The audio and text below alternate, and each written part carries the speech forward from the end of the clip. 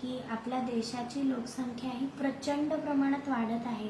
पण त्या वाढत्या लोकसंख्येसोबत प्रचंड मुलांचे प्रश्न देखील वाढत आहेत. आपण बघतोय की उदाहरण द्यायचं झालं तर अनेक अपत्य होत जातात. आणि मग त्यानंतर आई वडिलांची मानसिकता नसते त्या मुलांना सांभाळायची. आणि मग ती मुलं अशीच आई वडील रस्त्यावर सोडून देतात. किंवा कुठेतरी झाल्या झाल्या बाळ आपण बातमी वाचतो की कचराकुंडीत मूल मिळालं बाळ मिळालं.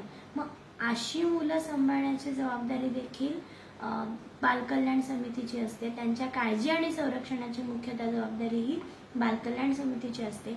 मग बालकल्याण समिती या मुलांची बालगृहात शिशुगृहात योग्य प्रमाणे आपले आदेश देते आणि त्यांची अन्न वस्त्र निवारा ही मूलभूत गरज भागवते. त्याचप्रमाणे आपण बघतोय आज मुलांमध्ये अनेक प्रश्न निर्माण होत आहेत मग ते शाळा असू दे कॉलेजेस असू दे कॉलेजेसमधली मुलं तर मोठी असतील पण शाळेतल्या मुलांमध्ये आपण बघतोय तर चुकीचं टी व्ही पाहणं किंवा सोशल मीडिया यामुळे मुलांमध्येच प्रचंड काहीतरी वेगळं डोक्यात जातं आणि मुलांमध्येच मुलांकडनं होणाऱ्या लैंगिक शोषणाचं प्रमाण वाढतंय.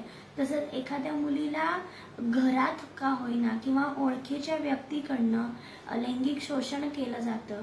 अशा परिस्थितीत जेव्हा या सर्व गोष्टी समोर येतात मग त्या पोलिसांच्या असू दे किंवा समाजातील एखाद्या नागरिकाच्या असू दे मग ही गोष्ट ज्या वेळेला सी डब्ल्यू सीला कळते किंवा सी डब्ल्यू सी पर्यंत जाते तर अशा वेळेला त्या मुलांच्या काळजी आणि संरक्षणाची जबाबदारी ही सी डब्ल्यू सीची म्हणजे बालकल्याण समितीची असल्यामुळे ही मुलं देखील बालकल्याण समिती अंतर्गत योग्य त्या अशा गृहामध्ये जातात.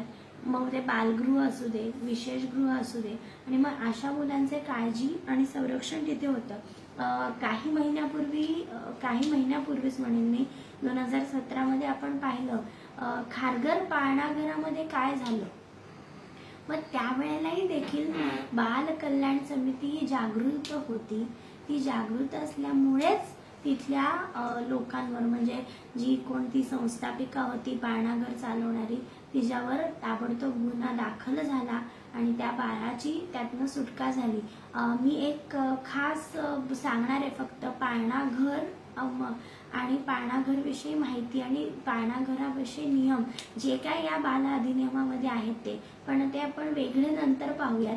पण उदाहरण द्यायचं झालं तर पा पाळणाघरातील मुलांची देखील जर असं काही आढळून आलं की त्यांना तिथे त्रास होतोय तर काळजी आणि संरक्षणाची जबाबदारी ही तिथल्या बालकल्याण समितीची असते. आपण आजही बघतोय अंधश्रद्धेपोटी कितीतरी मुलांना मुलींना त्रास दिला जातोय. आणि त्यांच्यावर नको त्या गोष्टी घडल्या जात आहेत मग अशा मुलांची काळजी आणि संरक्षणाची जबाबदारी मी पुन्हा पुन्हा सांगते. बालकल्याण समितीची असते. बालन्याय अधिनियमामध्ये बालकल्याण समिती खूप महत्वाची आहे.